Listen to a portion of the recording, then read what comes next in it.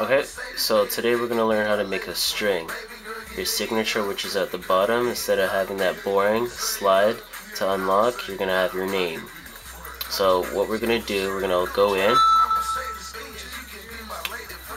and we're going to go into a program called iFile, which is where you, where you could download onto Cydia. So we're going to log into iFile right now.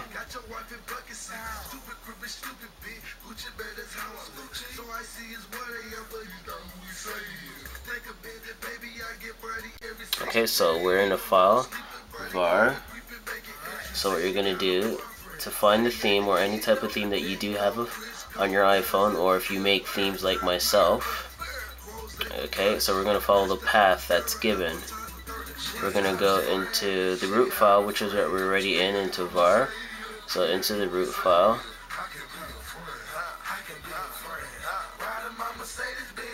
Okay, so then we're going to go to stash.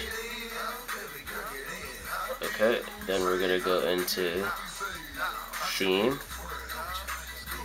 And then we're going to go into one of my themes that I put together, which is INMF Anime. We're going to go into bundle. Then we're going to scroll down and go to COM Apple Springboard. Then we're gonna go to EN Proji.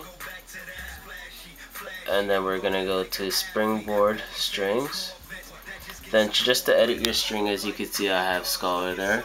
You just click on edit on the left hand side. Then you could just, I guess, type in whatever you want your string to be.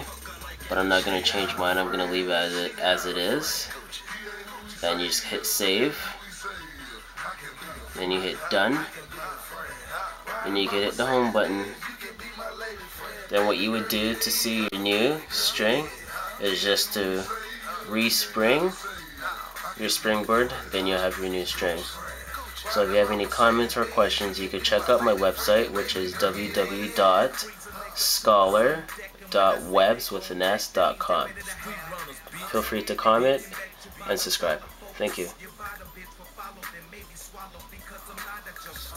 be a chick